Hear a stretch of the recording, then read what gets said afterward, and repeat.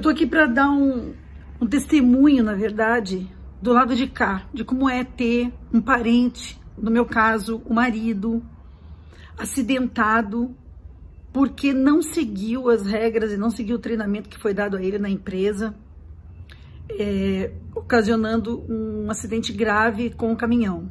Meu marido é motorista de caminhão há muitos anos, de uma empresa grande, e há algum tempo ele sofreu um acidente grave. Bom, não foi só um acidente, gente. Na verdade, a vida dele toda mudou. E não foi a vida dele que mudou, foi a minha. Foi a minha, foi a dos filhos, foi a da casa, foi tudo. Tudo mudou porque nós tivemos que nos adaptar a ele. Ele ficou inválido, né? Eu tenho que tenho que fazer tudo. Eu tenho que dar banho, eu tenho que colocar fralda, eu tenho que dar comida na boca.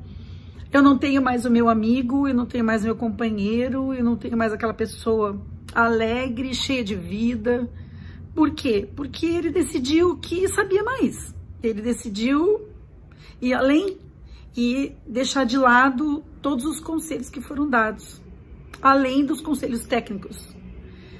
E isso, gente, acabou com a nossa vida. Então, assim, acabou com a vida dele que tá lá em cima da cama, acabou, mas acabou com a nossa. Uma família inteira foi destruída por causa disso. Vocês têm noção? Vocês não têm noção. Eu acho que ninguém nunca disse nada do lado de cá. Mas, gente, é sofrido, é doído.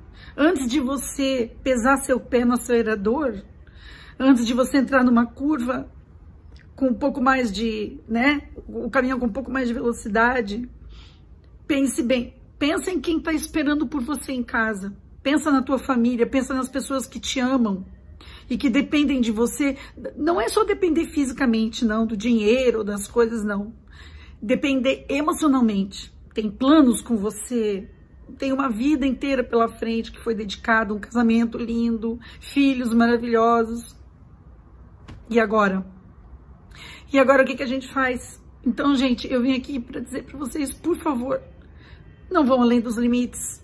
Não, não pensem que sabem tudo e sigam as regras. As regras foram colocadas justamente para que não aconteça esse tipo de coisa, não aconteça esse tipo de coisa.